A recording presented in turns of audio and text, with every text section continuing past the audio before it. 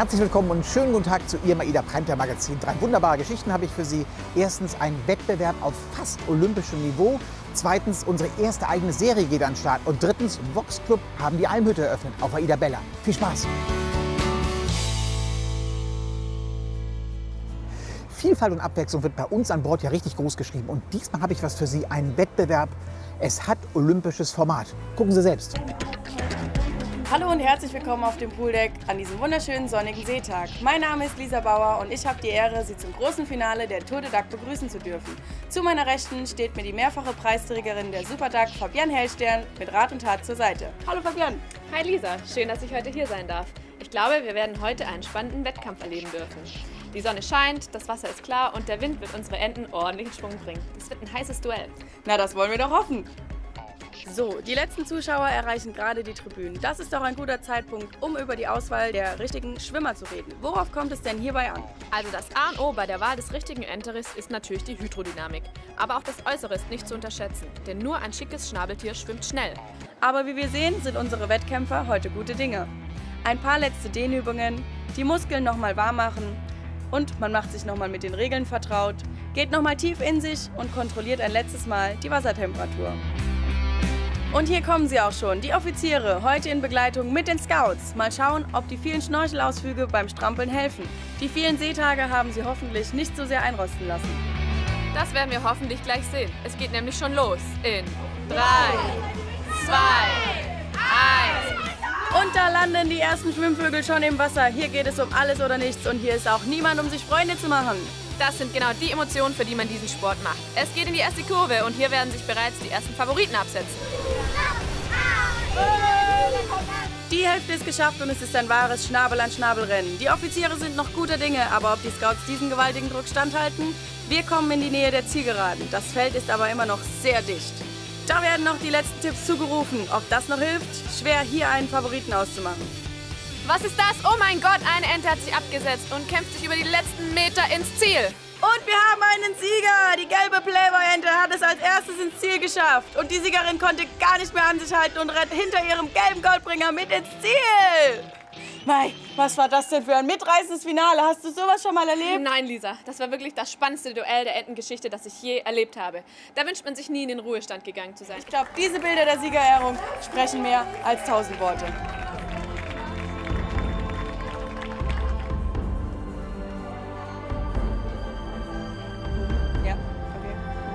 Wie ich gerade höre, ist unsere Außenreporterin bereits mit der Gewinnerin für ein Interview bereit. Wir geben ab an Merle. Und bitte. Ich habe jetzt hier bei mir auch schon unser Siegerpärchen mit der Playboy-Ente. Ihr beiden, wie fühlt ihr euch, nachdem ihr jetzt unsere Tour de Dac 2018 gewonnen habt? Das war das Beste! super! Klatschnass, aber unsere Ente hat gewonnen! Vielen Dank, Merle. Ich glaube, dem ist nichts mehr hinzuzufügen. Hast du noch ein paar letzte Worte, liebe Fabienne? Mir bleibt nur noch Danke zu sagen und allen einen schönen Seetag zu wünschen. Ich habe zu danken und wir verabschieden uns mit diesen Bildern der Aftershow-Party. Tschüssen! Tschüssen!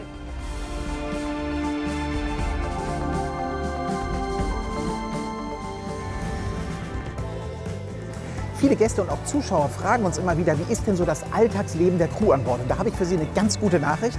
Es gibt jetzt die erste AIDA Soap und die erklärt Ihnen das. Bitte schön. Das erste große Schiff, die erste große Liebe, äh, gekommen zum Bleiben.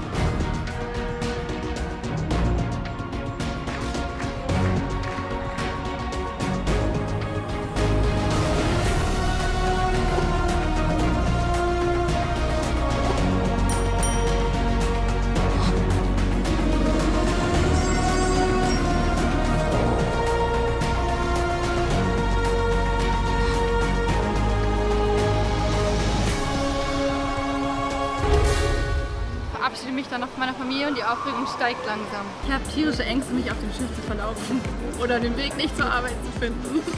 Nein, ich bin in die falsche Richtung gelaufen. Scheiße.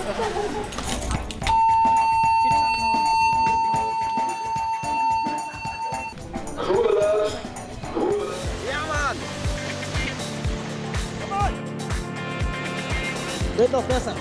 Der erste Tag war wirklich für mich Horror.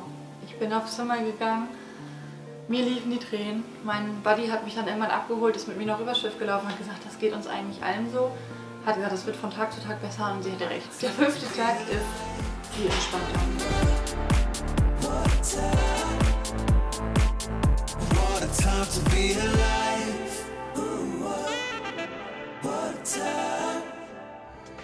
Unsere Idabella war in der Werft und hat sich so richtig rausgeputzt.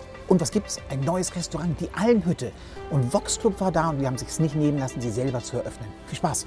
Ja, ich freue mich total, denn vor zehn Tagen wurde unsere Almhütte hier fertig. Und was in der Zeit alles hier schon passiert ist, das sehen Sie jetzt. Ganz viel Spaß.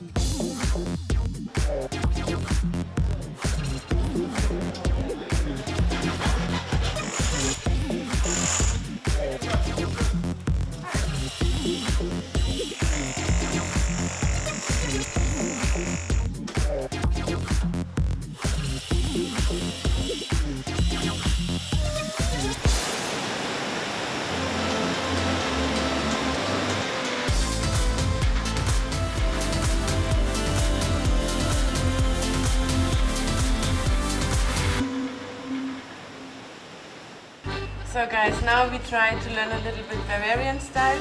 Oimos. Oimos. Zwamos. Zwamos. Servus. Servus.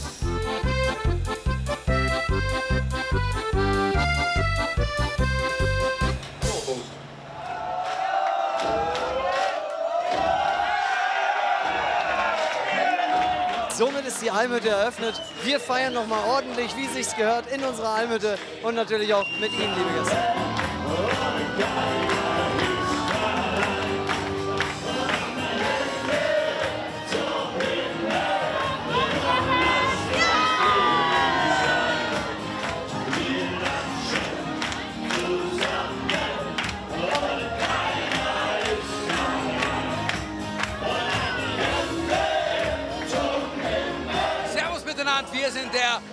Vox Club. Ja, wir kommen auf die AIDA Prima und wollen zusammen mit euch feiern. Also kommt alle vorbei. Ihr seht, es ist eine Mordsgaudi hier und wir wollen zusammen mit euch einen rocken. Also auf geht's, großen Oktoberfest! Yo! Servus, ciao! Zicke, zacke, zicke, zacke! Und wenn auch Sie jetzt auf solche Abenteuer richtig Lust bekommen haben oder mehr über uns wissen wollen, dann gehen Sie in Ihr Reisebüro oder auf www.aida.de. Und hier kommt sie, die Verlockung der Woche. Bitte schön. Wohlfühlen auf AIDA, das bedeutet unterwegs zu sein. Zunächst von Warnemünde nach Tallinn, der estnischen Hauptstadt. Es geht nach St. Petersburg und weiter nach Finnland. Helsinki wartet mit nordischer Geschichte und Moderne. Unser nächstes Ziel ist Stockholm in Schweden. Weiter geht es dann zur geschichtsträchtigen Hafenstadt Danzig. Noch ein Stopp in Kopenhagen, bevor es zurück nach Warnemünde geht. Und zum Schluss wie immer wunderbare Musik von Bord mit den schönsten Bildern der Woche. Schönen Sonntag noch. Liebe wird nicht, Liebe ist. Und Liebe sucht nicht, Liebe fragt nicht, Liebe fühlt sich an, wie du bist.